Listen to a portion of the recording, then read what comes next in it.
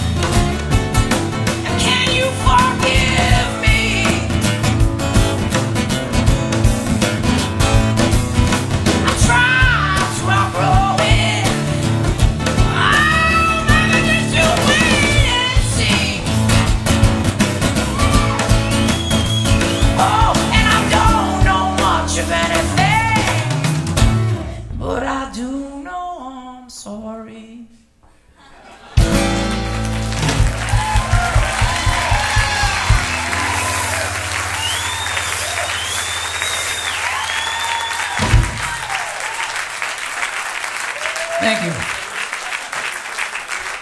It's called The Idiot's Blues. And people really like songs they can relate to, I've noticed.